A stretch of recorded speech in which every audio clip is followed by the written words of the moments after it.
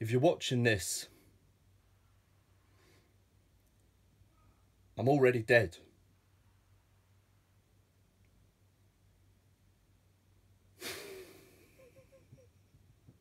I'm just kidding. I've just always wanted to say that. no, I'm still alive, hopefully. And if you're watching this, you are too. Here's to the end of the world.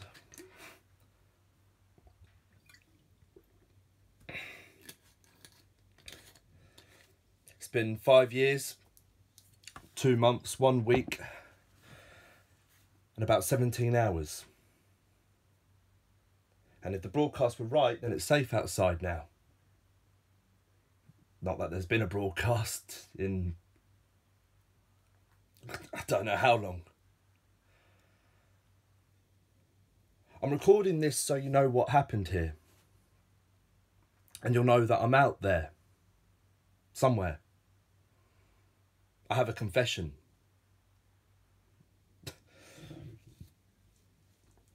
I should have never been here. Happy accident. Deliveries brought me to the right place at the right time. God bless Sainsbury's. I can tell you everything that happened that morning before it all went to shit. God knows I've relived it often enough. I've just done a drop. I'm in my van, finishing the receipts. It's 10.36. PopMaster's on the radio. 3 and 10, Spandau Ballet. Easy win. So far, so normal. The broadcast cuts out. For a moment, silence. And then the sirens start. You know, in the old war movies, and you hear the air raid siren, and it's almost musical. No, that's not the word, but it's kind of. The point is, it, it was never scary. The real one fucking was. My brain hasn't processed it before I'm being dragged out of my van, shoved towards the back of it. This bloke just shouts at me, grab the food. You know, I'm in autopilot. Some parts of my brain aren't working as quick as the others, but I just do it. He starts grabbing stuff. He shoves a box into my arms. Come on, he screams. It's the bloke I've just delivered to. Rob. He runs round the back of the house into the garden. The siren's still blaring, but not from just the radio, from all around us. There's a door. He runs through it, I follow. Behind me, a slam. metal on metal. Silence again. Time catches up with me. I try to ask the question, but my voice catches in my throat. Rob's doing something. He's working at some computers, twisting dials, trying to find something. And then the floor shakes. Fuck, Rob says. My senses have come back enough to see that there's a window in the door we came through and the light outside is faded. Yeah, it was gorgeous sunshine a minute ago.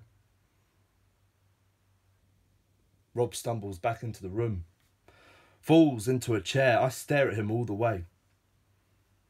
At that moment, I realise I'm still holding on to the box of food, and a tin of Pringles sits on top.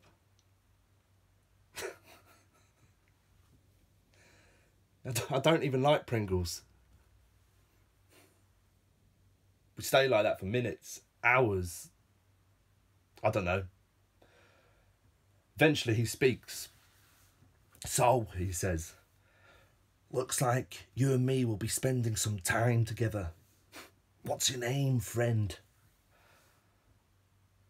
We talked about everything but what had just happened football, family, jobs, normal stuff. Eventually, he gets to talking about being a survivalist and building a bunker in his backyard fucking bunker. hoping he'd never have to use it, and hearing the sirens and just grabbing me. Not thinking, just doing. now, now I'm saying it all to you, I realise how ridiculous it sounds. These survival guys are supposed to be out in the Nevada desert or something, not in Guiseley. And definitely not getting a food shop home delivered. but there you go. We got along well in the early days. Rob had packed books, DVDs, games, you know, all the entertainment you needed when you're stuck in a metal box underground. it was almost pleasant. Till the food began to run out. Not the stuff from Sano's, that was long gone. But the canned stuff, tin stuff that Rob had packed, Problem was, he hadn't counted on there being two of us. It rather fucked up his ration planning. We did our best. Stretch stuff out. But hunger's a bitch. It gets to you, makes the little things seem big, puts a little itch in your brain. And you know, by this time, we've been in a metal box for four years. Can't remember what started it. But the argument was big,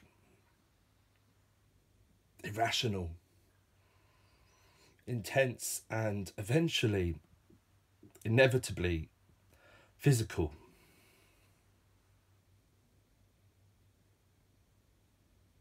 Didn't mean to kill him. I just shoved him too hard and his head hit the wall. He was gone before he hit the floor.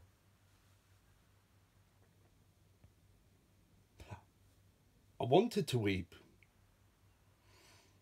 I didn't. Something in me had changed. I don't know what.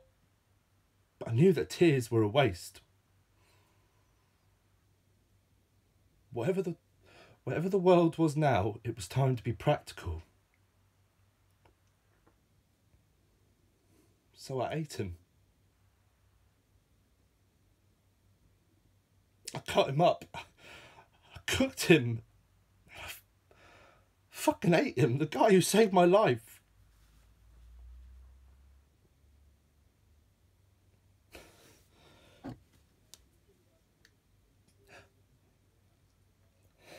I never said that to anyone before.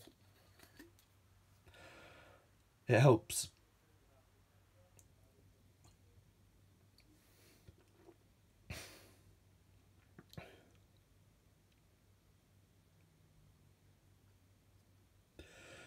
You might be appalled.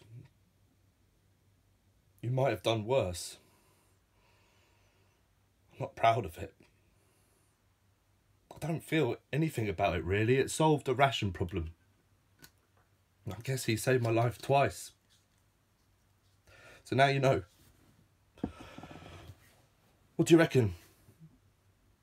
Three Hail Marys and 20 quid in the poor box.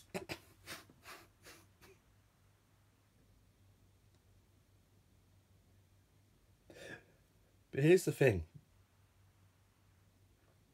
If I have to, I'll do it again. Not because I've got a taste for it. It's fucking awful to tell you the truth, but because that's the world now.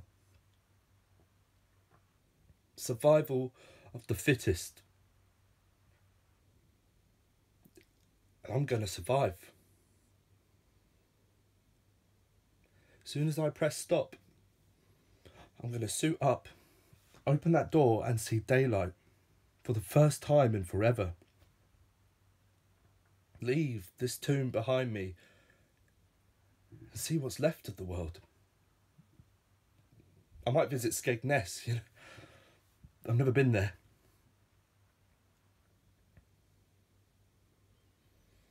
If you found this place, now you know what happened here. And you'll know that I'm out there somewhere.